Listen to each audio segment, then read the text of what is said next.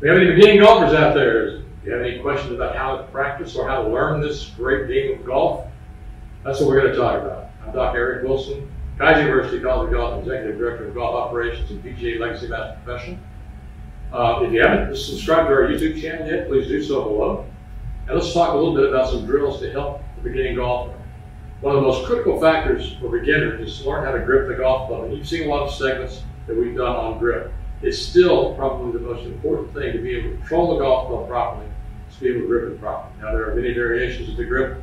Uh, you've seen uh, all kinds of them as far as positioning of the grip handle itself and hands and placement of the hands on the club.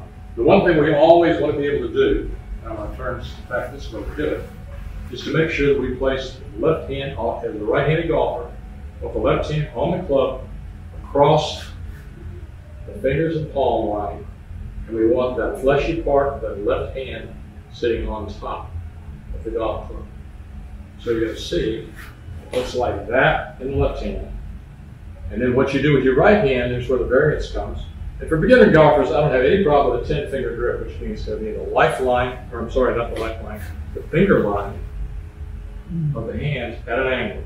Not like this square across at 90 degrees, but more at an angle where the V in the right hand fits right over the thumb in the left hand.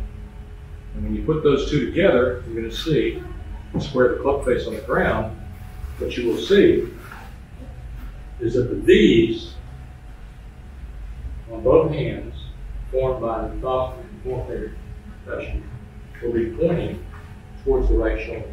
That's the right hand flex. Left-handers, flip it reverse. So it's most important that you don't allow this fluff to slip up into the palm area. There's no strength in that. Creates all kind of problems. Probably one of the what we call here in the, the uh, College of Golf is the rule number one.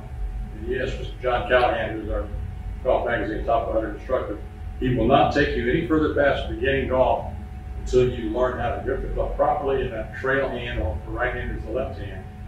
The right hand comes on to support, and now you've got a good grip. That's the biggest key I can tell you to start with as far as the beginning golfer goes. And once you master the grip, as Mr. Hogan used to say, it's 90% of the golf swing basically. And if you just do it 10 minutes a day for a couple of weeks, you should have some, some do it of the mirror.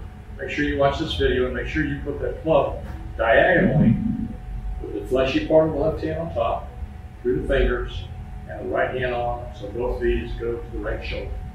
Hope this helps. Hope you can get some good use out of this video. And again, if you have a chance, please enter any comments that you've got below or questions that you may have. And be sure to subscribe to our YouTube channel. Hope to see you next time. Thank you.